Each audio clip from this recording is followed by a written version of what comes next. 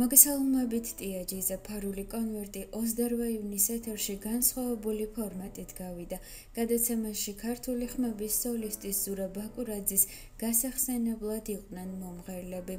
მათ შორის კი იყო ზურა ხაჩიძე, რომელმაც გარდაცვლილი მეგობარი გაიხსენა და აღნიშნა, რომ მან ზურა სიონის ტაძარში გაიცნო, სადაც გალობდა. ისინი ერთმანეთს ახლოს არიცნობდნენ, თუმცა ესტრადამ დაახლოვა. ზურა იყო ძალიან ლაღი და უჭკვიანესი. მე მისგან არ მახსოვს წუწუნი. ბევრი მეგობარი და უკარგე ბევრი კოლეგა, მაგრამ 2-3 დღეაც რამლებს ვერ ვიკავებ. ღმერთია მოწმე, რომ არავინ არ მიტირია ასე ძლიერად. ახლაც ძლივს ვიკავებ რამლებს, ამბობს ზურა ხაჩიძე გადაცემაში. ქართული ხმების დაუვიწყარი და გამორჩეული მეორე ხმა 23 ივნის სრულიად მოულოდნელად ტრაგიკულად გარდაიცვალა.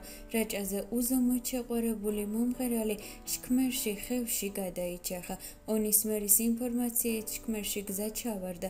ზურა ბაკურაძე, რომელიც ამ ადგილზე ფეხით გადაადგილდებოდა, ხევში ჩავარდა. ძიმე ტრავმების გამო მისი გადარჩენა ვეღარ მოხერხდა. ქართული ხმების სოლისტი ზურაბ ბაკურაძე 26 ივნისს დაკრძალეს. ცნობილ მომღერალს ოჯახი, მეგობრები და მსმენელი დიდი გულისტკივილით გამოეთხოვა.